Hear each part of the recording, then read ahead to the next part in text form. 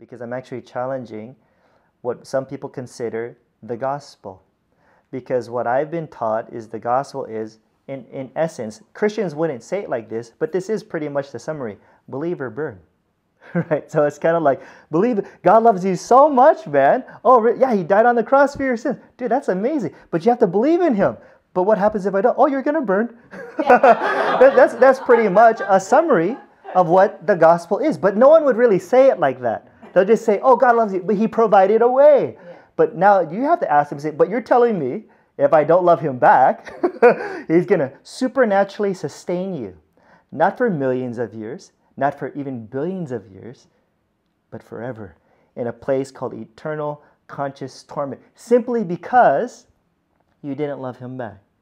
Then you really have to wonder what does the term unconditional love really even mean in the first place? Because they say God loves you unconditionally, but it's God loves you but.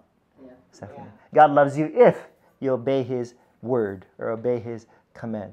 And so I'm trying, I in my book, what I'm trying to do, I'm trying to show that there's another way to see Christianity in a non-judgmental, non-violent, because believe it or not, many religious people are very violent or like very active and pro-war.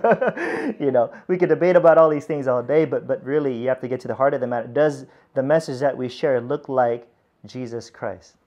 And from what I see, a lot of the, the fundamentalist Western Christianity that I see now in America, it's actually everywhere, but I see a lot here, obviously. It looks very different than the message that I see of, of Jesus Christ of forgiveness and grace and hanging out with people that we quote unquote call sinners, you know. And I don't even use that terminology these days.